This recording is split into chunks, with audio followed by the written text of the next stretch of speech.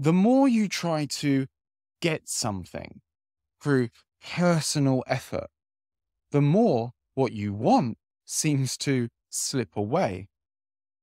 When you let go and let things happen, everything starts to work out and you start getting what you want. But perhaps you really want it. Perhaps you feel like you really need it. But it's like the harder you try to achieve something, the further away it seems to get. Isn't that weird? What if I told you that there's a deeper truth behind this phenomena? A universal law that once understood can change everything in your life. In this video, we're going to be shining a light on the law of reversed effort, but not in the way that you've heard it before. We're going to explore how this principle relates to your very sense of self and the way you create reality. This video is for you if you want to stop feeling like you need to wrestle your way through life to get what you want. It's for you if you want to discover the secret to letting go and then having the next right actions that lead you towards your dream naturally come to you. Because aren't you tired of pushing and striving and struggling your way through life, weighed down by that heavy feeling of personal responsibility? I am too. So, together, let's uncover a greater sense of flow, intuition, and inspiration and have our minds blown about who we really are and how reality really works.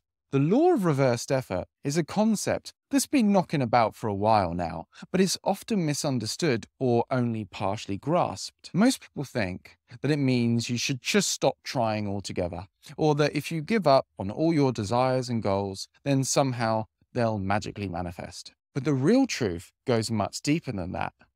It's not about giving up on your dreams or becoming a passive observer of life.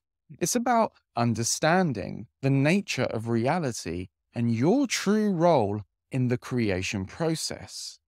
You see, when we believe ourselves to be a separate, limited individual cut off from the power of the universe, we tend to approach our goals from a place of lack, neediness, or desperation. We think that we have to make things happen through sheer force of will, and that if we can just try hard enough, we can kind of force life to give us what we want. And then we're further brainwashed by countless YouTube videos telling us that we need to get ahead of 95% of people and outwork everyone else. We're told that it's just a case of speed, and so we try to optimize our life to go as fast as possible, only to quickly burn ourselves to the ground and get very little achieved in the process. But what if this very belief in being this self who has to struggle and effort is the root cause of all our struggles and frustrations? What if by seeing through this illusion, we could tap into a much greater power and create our reality with a greater ease and flow. We may still put in a great deal of effort in terms of focused energy directed in a specific direction, but we no longer feel like a personal sense of self that's trying to achieve something in this state of stress. We're cultivating energy and allowing it to powerfully pour out of us. But paradoxically, we also simply watch this happen as we rest our attention in effortless beingness. I remember many times in my own life when I was trying and striving so hard to manifest the things that I wanted. I had these visions of what I wanted to create, and I was putting in these long hours, grinding every day to make it happen, thinking that success was always just around the corner. If I can just push a little bit harder, until I'd inevitably lie in bed for days recovering. Despite all my efforts, it felt like I was getting nowhere. The harder I tried, the more stuck and frustrated I became. It's like running on a treadmill, expending all this energy, but not actually really moving forward.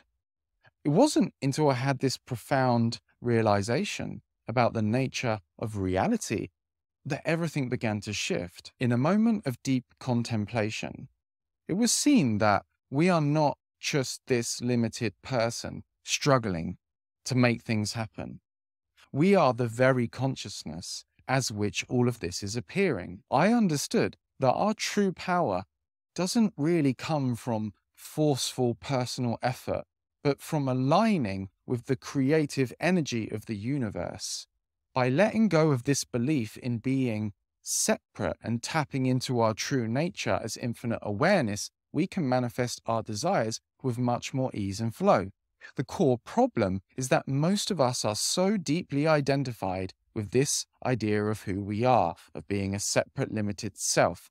We believe we are the I in our thoughts, the ego mind identity that's distinct from everyone and everything else. And from this perspective, the reality that we want feels like a struggle.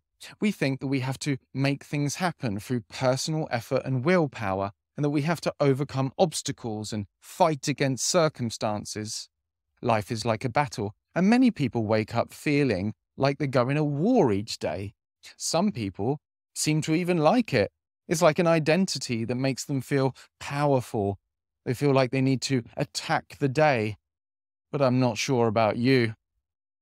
I don't want to live like that. There has to be an easier way, right? Because this belief in just being a separate, limited individual creates a deep sense of lack and neediness. We feel like we're not enough as we are, that we need to obtain certain things or achieve certain goals in order to be peaceful or happy or fulfilled. As a result, we approach our desires from a place of stress, desperation, over anticipation, over excitement, or attachment, and we cling to specific outcomes, believing that part of our well being depends on them. We strive and strain, hustle and grind, all the way to the grave. We may achieve many things, but then there is always more to achieve, and we become a slave to what we've created. Eventually, maybe we create a business to quit our job and to free ourselves from the nine to five wage slavery, only to find ourselves a slave to another job that we created for ourselves. And the more we effort from this place of personal identity, the more we actually block the very things that we want our attachment and neediness create energetic resistance, repelling the experiences and opportunities that we desire. It's like trying to catch a butterfly by chasing after it. The more you run towards it, the more it flies away. But if you sit still and allow it to come to you, it will eventually land on your outstretched hand. So, what's the solution? How can we create our reality that we want without getting caught up in the trap of personal efforting and striving? The key is to drop our identification with the limited self so that our true nature as infinite consciousness is naturally revealed. The key is to recognize that we are not separate from the creative power of the universe, but that we are this consciousness, the creative power itself, expressing itself in human form. Now, I cannot teach this to you or try to get you to believe me or give you some kind of new belief system or ideology. I can only point it out with the hope that you see it for yourself. You are this infinite consciousness, otherwise known as infinite awareness. Can you feel it? When we abide as awareness, as the presence that's perceiving all of this, we see that we are not the doer in the conventional sense. We are the space in which all the doing happens, the conscious container in which thoughts, feelings, and actions and the entire world arises. From this place, manifesting our desires becomes more of a matter of imagination and energetic alignment rather than forced effort by an individual we tune in to the vision of what we want to create, feeling the reality of it in our mind, imagination, and heart. And then we let go of the attachment to how it will manifest. We trust that the universe will orchestrate the perfect unfolding, bringing us the people, the resources, the opportunities that we need just at the right time. We still take action, but it comes from a place of inspiration and flow rather than struggle and strain. We listen out for the still small voice. We follow our intuitive promptings, letting the next right action steps reveal themselves moment by moment by taking spontaneous action on our intuition. In this way, the actions taken to create reality become a joyful dance rather than an exhausting battle. Our apparent individual self and the universe are experienced as one single unfolding of this consciousness allowing our desires to manifest. The law of reversed effort doesn't mean that you don't do anything or you don't work hard. It means you work at a pace that's sustainable and enjoyable. You do consistent actions that generate value for others in a flow based way. And that's probably how you want to live life anyway. Sometimes you may need to use great effort to learn something new. Sometimes you may put in many hours working on a passion project, but it's done from a sense of overall lightness and power rather than feeling like a frustrated individual who needs to figure it out and force things to happen. Because what many people don't realize is when you decide you want something, perhaps something big, it's going to trigger all your fears, doubts, and insecurities about not being good enough to achieve it. It's going to trigger old emotions, giving you the opportunity to release them.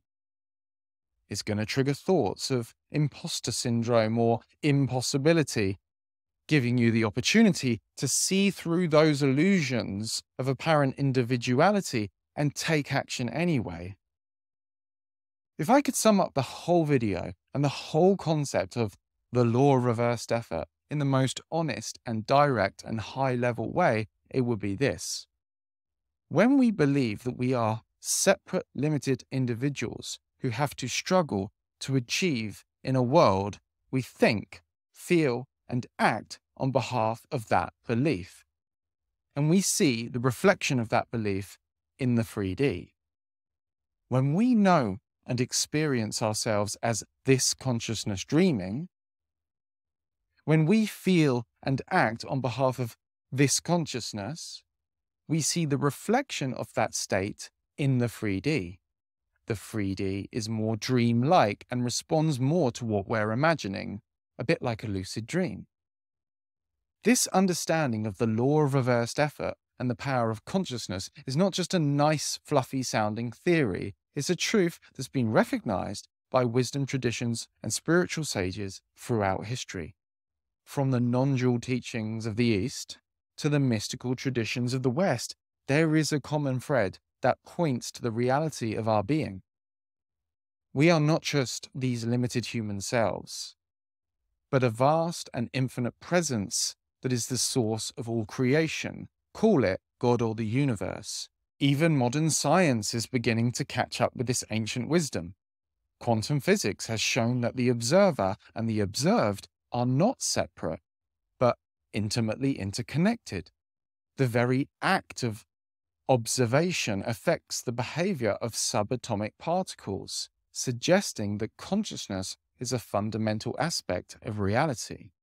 There have also been numerous studies on the power of visualization and the placebo effect, demonstrating that our beliefs and expectations and the way that we feel, or our so called vibration, can have tangible and monumental impacts on our physical health and well being. But perhaps the most compelling evidence comes from the countless individuals who have actually put these principles into practice and transformed their life as a result.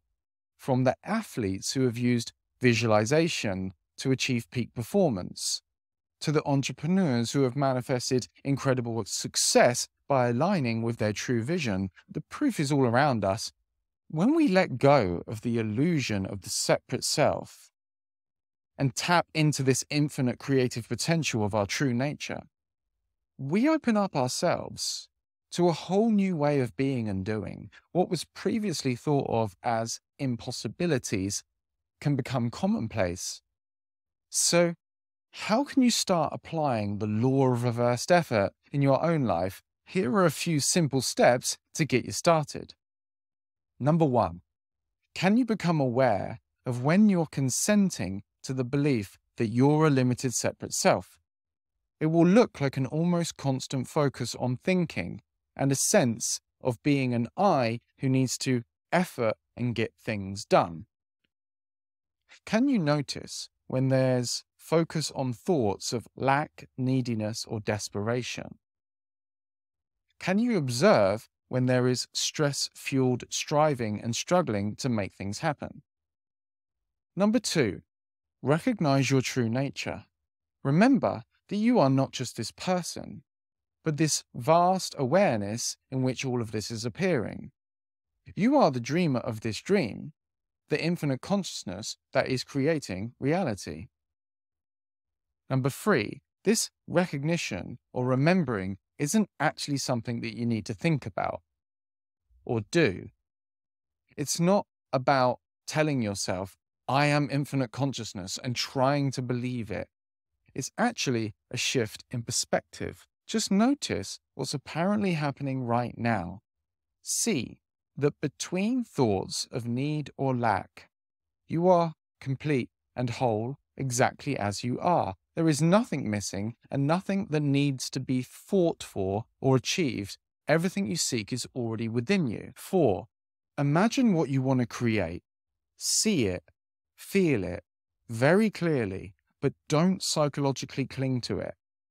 Know that it is already yours in the realm of consciousness and that it will manifest in the perfect form and timing. 5. Take inspired action, but let go of forcing and controlling. Follow your intuitive promptings, those subtle nudges from your higher self.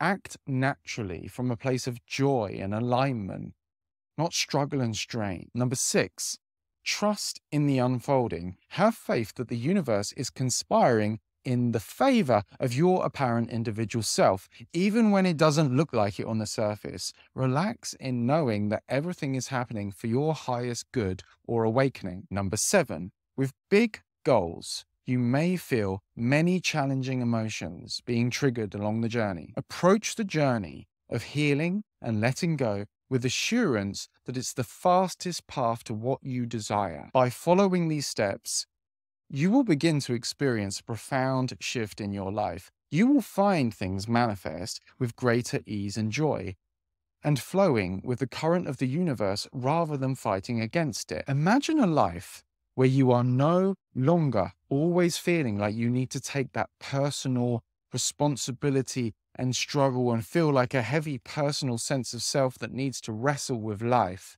a life where you are fully awake to your true nature as this infinite, the source and substance of all that is. This is categorically available to you now.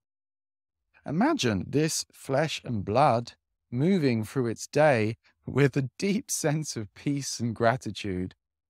You are no longer constantly plagued by thoughts of lack or limitation. Any lingering thoughts of fear and doubt are seen as another opportunity to further see through the illusion, releasing old negative feelings and embodying the creative power of consciousness in this human form. As challenges and opportunities arise, you meet them with a sense of curiosity and openness.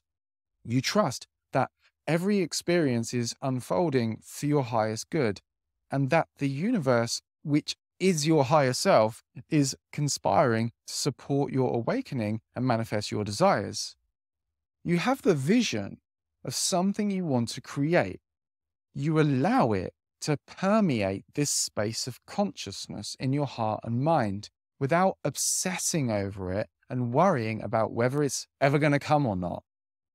You feel the reality of it in your heart and mind, but you don't cling to it desperately or have any confusion about how you apparently need it. You don't. You know that it is already yours in the realm of consciousness, that you are fundamentally at peace, and that if you really want it and it's right for you, it will manifest in the perfect form and timing. You take inspired action towards your goals, but you do so from a place of joy and alignment. You are guided by your intuition, following the subtle promptings of your higher self. There's no forcing or struggling, only flow and ease. Sometimes some feelings of stress arise, but you feel into them, release them, and just take another action if that's necessary. And as a result, your life begins to transform in miraculous ways. Doors will open where there was only walls. Opportunities and resources flow into you with synchronistic timing. You find yourself surrounded by people and circumstances that reflect your highest vision. This is the power of living as your true nature, of aligning with the creative force of the universe. This is what becomes possible when you let go of the illusion of separation and instead be the infinite potential of the consciousness that you really are and already are. At this point, you might be thinking, well, this sounds great, Alex, but what about when things get really tough? What about when I'm facing challenges, maybe health, relationship, or financial challenges that just seem insurmountable and everything feels like it's on fire? Well, that's a valid question. The truth is, living from a place of alignment and flow doesn't mean you'll never face difficulties or obstacles. Life will still have its ups and downs, its moments of challenge and contrast, and sometimes those challenges may be great. In fact, it might not be popular for me to say this, but manifesting with the law of reversed effort means that sometimes things may feel a little worse before they get better. The universe has a way of presenting a path to what you desire that feels booby trapped with landmines, setbacks, and disappointments. And sometimes they can feel painful or even devastating to the individual if you have an egoic attachment around something. But you have to let those landmines blow your ego up and away. And what's left is this space of pure consciousness in which all the old feelings are felt and released. And you become humble to the power of the universe and honor that sometimes is going to give your human form some shit to wade through before you get to the promised land. But the good news is once you get to the promised land, it's obvious how you needed that shit to become the person who can strongly build and sit comfortably in your palace. The difference is in how you meet these challenges. When you are rooted in knowing of your true nature, you have a deep resilience and capacity to navigate whatever arises. And with whatever arises, you see that it doesn't touch your essential being. So you don't get thrown off center by the ups and downs of life so much. You don't get lost in stories of victimhood or powerlessness. Instead, you remain grounded in the truth of who you are and you trust in the unfolding of your journey. You also have access to a wisdom and guidance that goes beyond the limited perspective of the mind. By remaining very internally still and tuning into your intuition and higher knowing, you can find very creative solutions and inspired paths forward, even in the midst of seeming obstacles or even impossibilities. And perhaps most importantly, you know that even the challenges are serving a higher purpose or are opportunities for awakening and growth for expansion, for letting go of limited beliefs and patterns, for sinking into consciousness.